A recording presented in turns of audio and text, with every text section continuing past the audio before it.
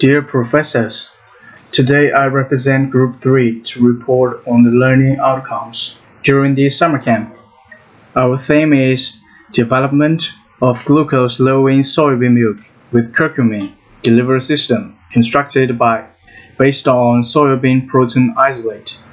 The members of our group are displayed in the bottom right corner.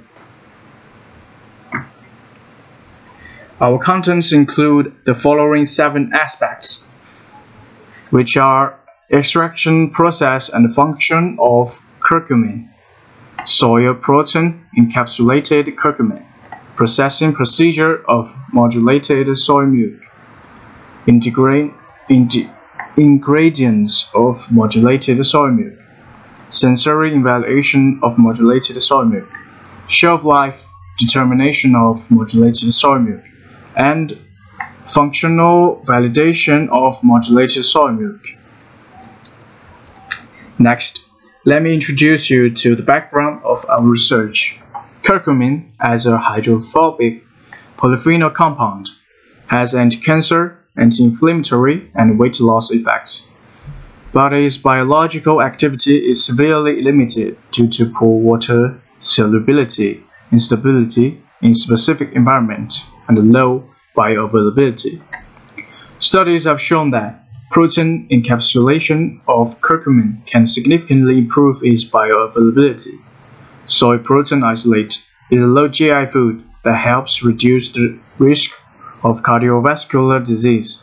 Therefore, we chose the development of hypoglycemic soybean milk based on the curcumin delivery system constructed by soybean protein isolate. We use ultrasonic assisted extraction as our extraction technology using 80.4% ethanol with a material liquid ratio of 1 to 21.9. The ultrasonic power is 200 watts. The enzymatic uh, hydro hydrolysis pH is 4.5. The temperature is 55 degree. The enzyme amount is 21 milligram per gram and enzyme molasses time is 42 minutes. Curcumin has many functions, including antioxidant activity and RS scavenger performance of curcumin. Prevent uh, anti-inflammatory effect, preventing cardiovascular diseases, anti-tumor, preventing neurological diseases. Furthermore, I will explain the process of making microcapsules. Soybean isolate protein was dissolved in 10 mg per milliliter of phosphor, phosphate buffer and curcumin was dissolved in 10 mg milliliter of ethanol. Then, ultrasonic operation was performed for 10 minutes.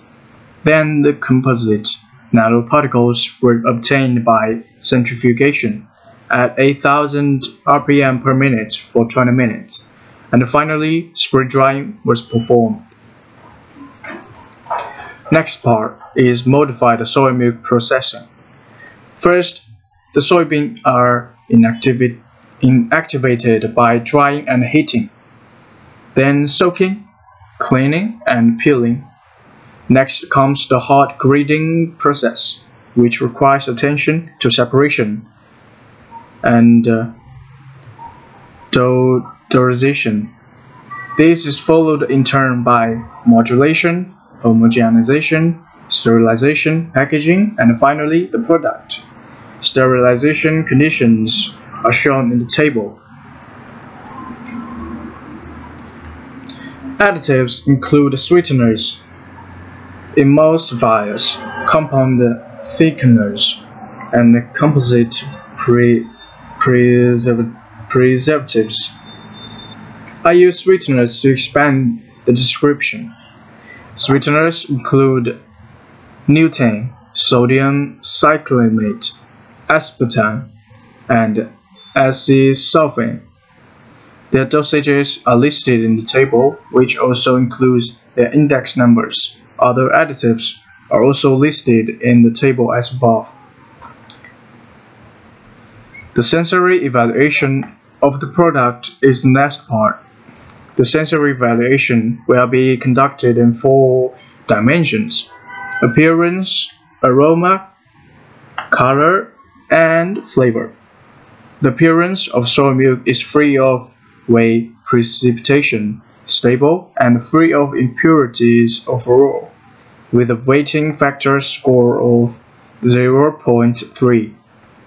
The aroma is intense and pure, scored 0.2 of weighting factor. The color is free of whey precipitation, even and stable, milky white, and free of impurities, scored 0.3 of weighting factor.